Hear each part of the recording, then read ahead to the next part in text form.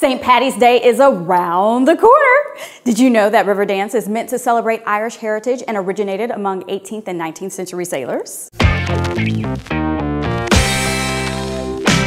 Looks like every New York neighborhood's got its own iconic dance. First the Harlem Shake, and now the Bronx Whine. It's the newest, hottest dance craze. The dance itself has been popular in the Bronx for a while and involves rhythmically turning the knees in and out while dipping up and down. BB Bronx is trying to make the moves go mainstream by including them in his new video, which is named after the dance. A straight A student and Spanish rapper, BB Bronx makes music, dances, but is also focused on his studies.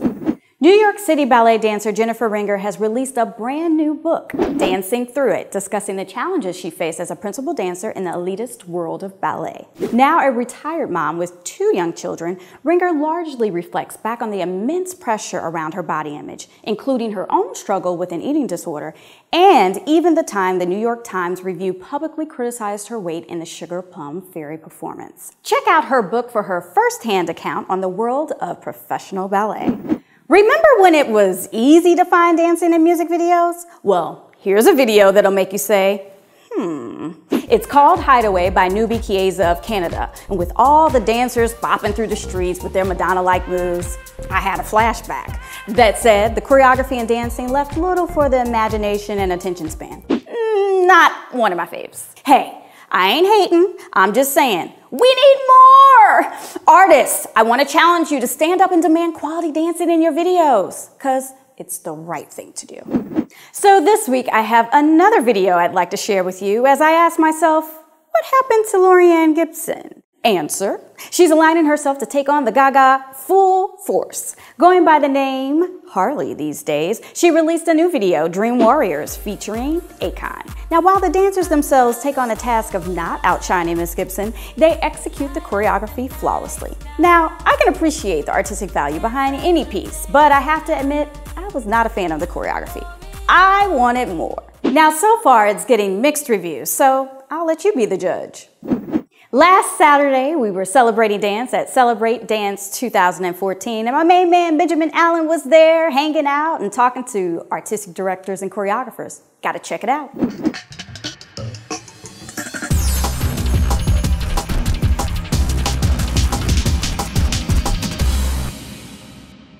I cultivate my show. That's what Joel said, and that's a great word. This is my home, and I invite friends to my home, and sometimes they're new friends.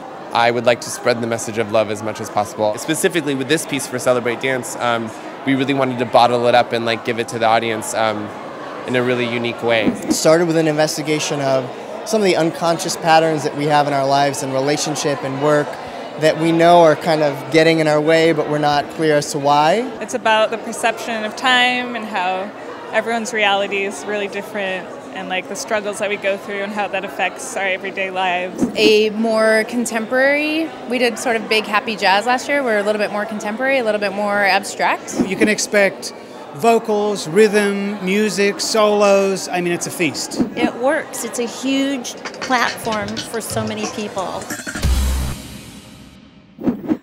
Rocky, the musical, is now in previews on Broadway and it's got some serious arm swinging choreography. Movement specialist and choreographer Steven Hoggett has been the mastermind behind staging the integral knockout scenes of the show, which involve highly complicated fight choreography that captures the intensity of true boxing match without any of the actors.